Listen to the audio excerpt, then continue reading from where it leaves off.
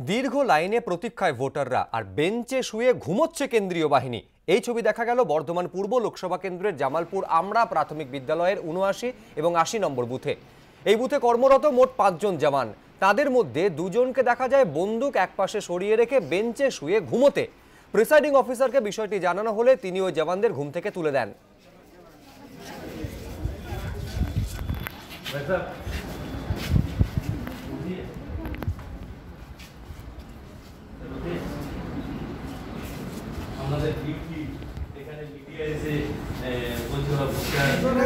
duty पर है ना आप